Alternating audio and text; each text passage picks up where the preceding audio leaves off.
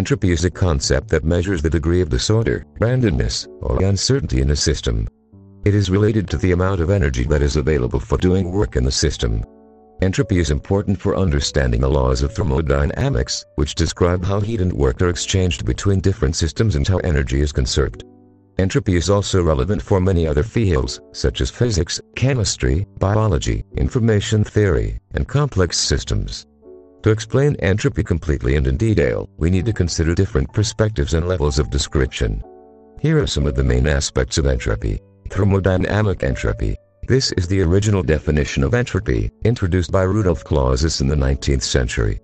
He defined entropy as the ratio of an infinitesimal amount of heat transferred to a system and the temperature of the system. He also showed that the entropy of an isolated system cannot decrease over time, which is known as the second law of thermodynamics. This law implies that some processes are irreversible, such as heat flowing from a hot object to a cold one, or a gas expanding into a vacuum. Thermodynamic entropy can be calculated using the formula S equals Q slash T, where S is entropy, Q is heat, and T is temperature. One statistical entropy. This is the microscopic interpretation of entropy, developed by Ludwig Boltzmann and others in the late 19th and early 20th centuries. They realize that entropy is related to the number of possible microscopic states or configurations of the atoms and molecules in a system that are compatible with its macroscopic properties, such as temperature, pressure, and volume. The more states there are, the higher the entropy. Statistical entropy can be calculated using the formula S equals KL and W, where S is entropy, K is Boltzmann's constant, Ln is the natural logarithm, and W is the number of states 1 information entropy. This is the generalization of entropy to any system that involves information, communication, or uncertainty. It was introduced by Claude Shannon in the 1940s, who applied it to measure the amount of information that can be transmitted or stored in a system, such as a code, a language, or a message. Information entropy is also a measure of the unpredictability or randomness of a system, such as a coin toss, a dice roll, or a lottery draw. Information entropy can be calculated using the formula S equals K sum, PIL and PI, where S is entropy, K is a constant, PI is the probability of the ITH outcome, and sum means adding up all the terms to complexity entropy. This is the extension of entropy to systems that exhibit complex behavior, such as self-organization, emergence, adaptation, and evolution. It was developed by various researchers in the 20th and 21st centuries, who applied it to study the structure, dynamics, and patterns of natural and artificial systems, such as biological organisms, ecological networks, social systems, and computer simulations.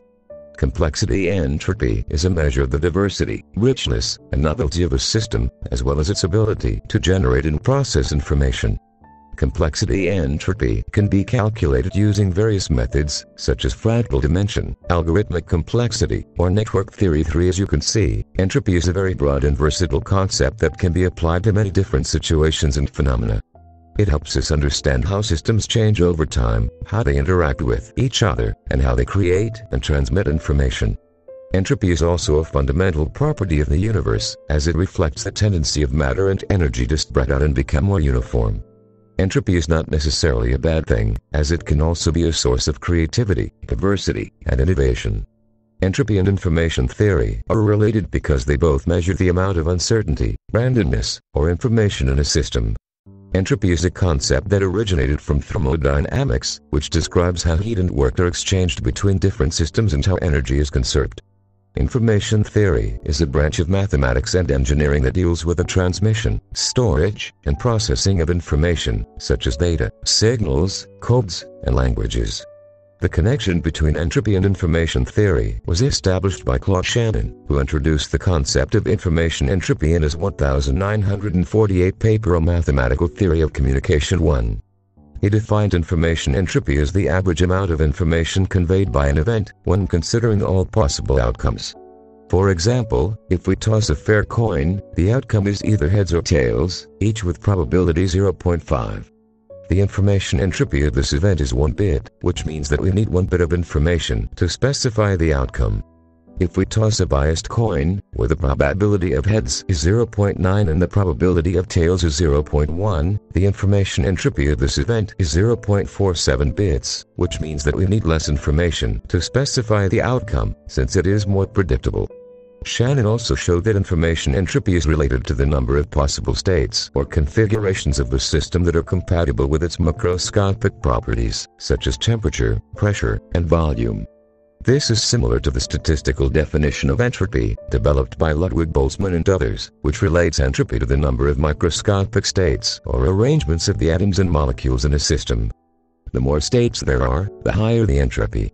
For example, if we have a box with 10 balls, 5 red and 5 blue, and we randomly arrange them in two rows of 5, there are 252 possible arrangements. The information entropy of the system is 7.99 bits, which means that we need 7.99 bits of information to specify the arrangement. If we have a box with 10 balls, all red, and we randomly arrange them in two rows of 5, there is only one possible arrangement. The information entropy of the system is 0 bits, which means that we need no information to specify the arrangement, since it is certain. Shannon also proved that information entropy represents an absolute mathematical limit on how well data from a source can be losslessly compressed onto a perfectly noiseless channel. This is known as the source coding theorem, which states that the optimal compression rate is equal to the entropy of the source. For example, if we have a source that generates a sequence of symbols from an alphabet of size 4, such as A, B, C, D, with equal probability, the entropy of the source is 2 bits per symbol, which means that we need 2 bits of information to specify each symbol. The optimal compression rate is also 2 bits per symbol, which means that we cannot compress the data further without losing information. Shannon also extended this result to noisy channels, where errors or distortions may occur during transmission. This is known as the noisy channel coding theorem, which states that the maximum rate at which information can be reliably transmitted over a noisy channel is equal to the channel capacity, which is a function of the channel's characteristics and the signal's power. Entropy and information theory have many applications in various fields, such as physics, chemistry, biology, computer science, cryptography, linguistics, and communication. They help us understand how systems change over time, how they interact with each other, and how they create and transmit information. They also help us design efficient and reliable methods for encoding, compressing, and communicating information. Entropy and information theory are also related to other concepts, such as complexity, randomness, order, and disorder, which are relevant for studying natural and artificial systems. Entropy is a concept that measures the degree of disorder, randomness, or uncertainty in a system. It is related to the amount of energy that is available for doing work in the system. Entropy is important for understanding the laws of thermodynamics, which describe how heat and work are exchanged between different systems and how energy is conserved. Entropy is also relevant for many other fields, such as physics, chemistry, biology, information theory, and complex systems. Entropy is related to biology in several ways, as biological systems are composed of matter and energy that are subject to the laws of thermodynamics. Here are some of the main aspects of how entropy is related to biology.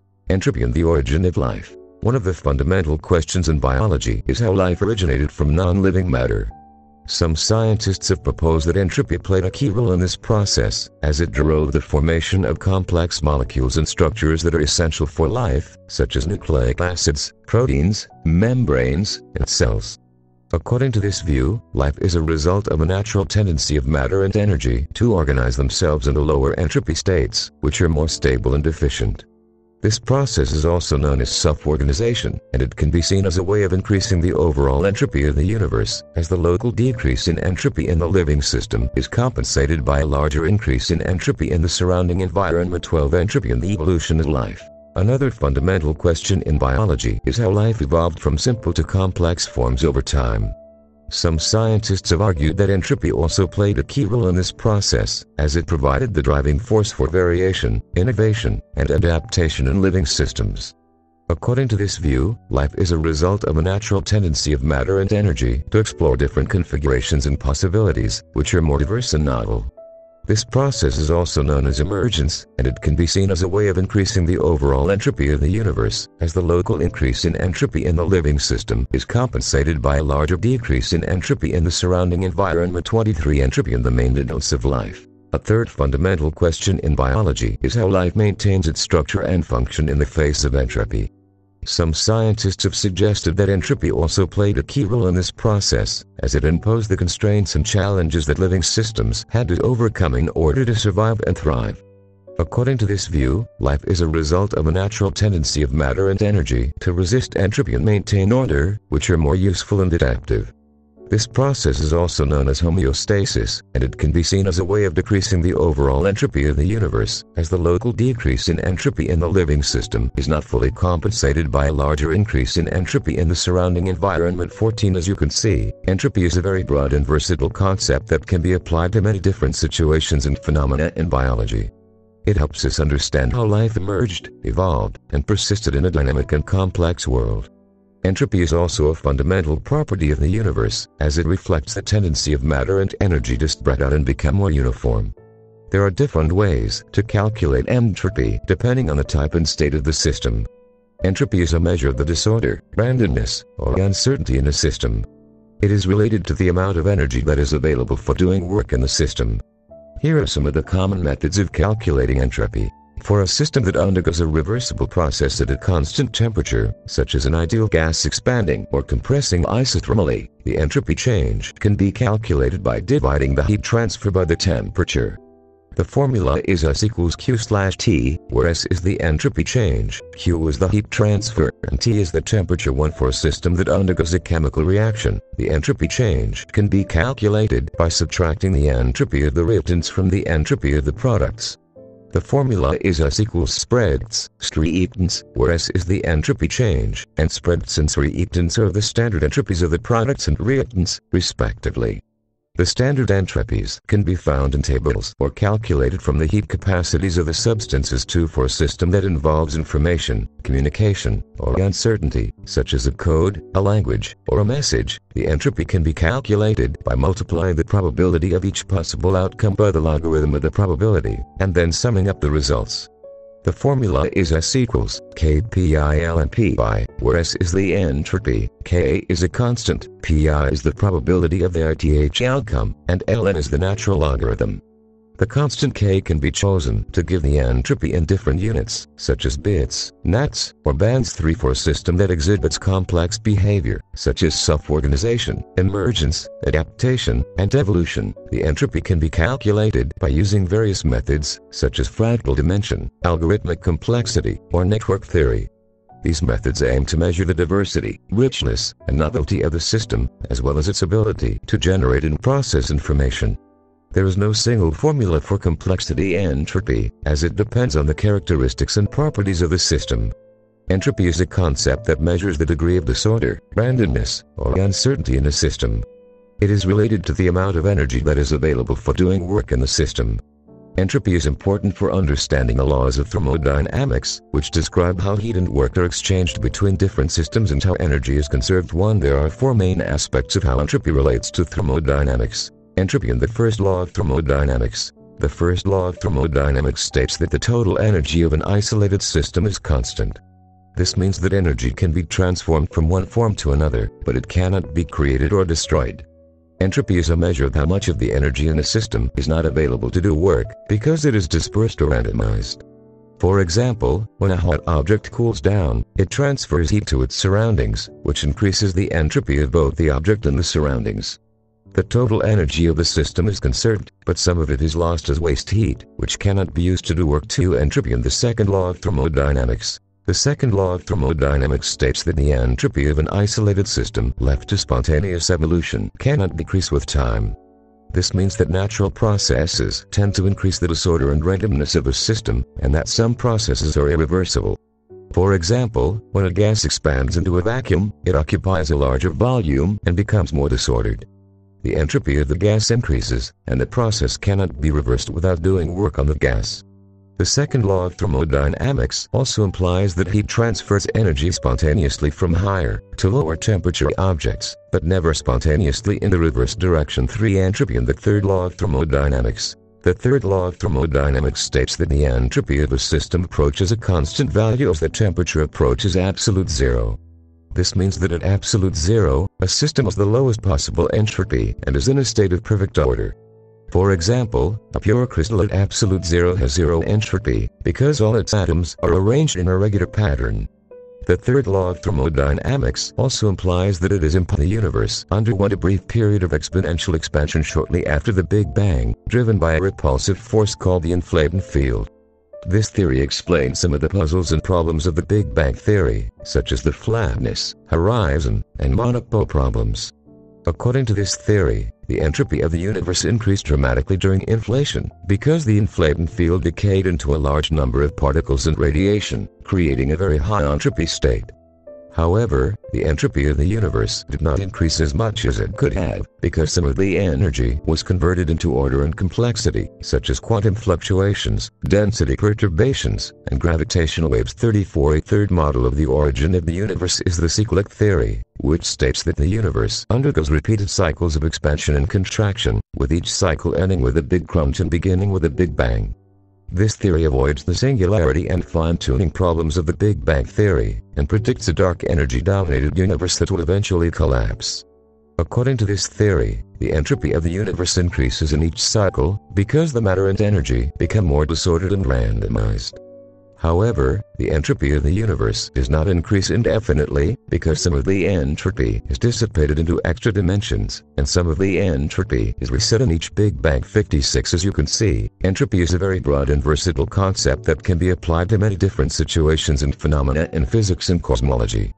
It helps us understand how the universe evolved from a low entropy state to a high entropy state, and how some of the entropy was converted into order and complexity. Entropy is also a fundamental property of the universe, as it reflects the tendency of matter and energy to spread out and become more uniform. Have a nice day.